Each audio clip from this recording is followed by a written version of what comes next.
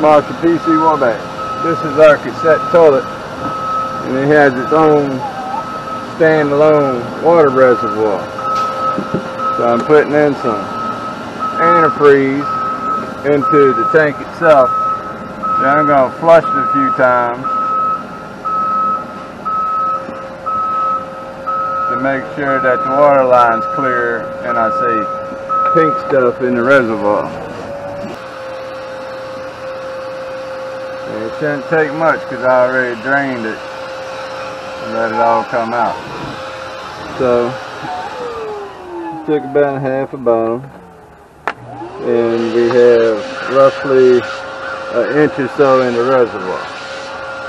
Next step, flush the line on the inside.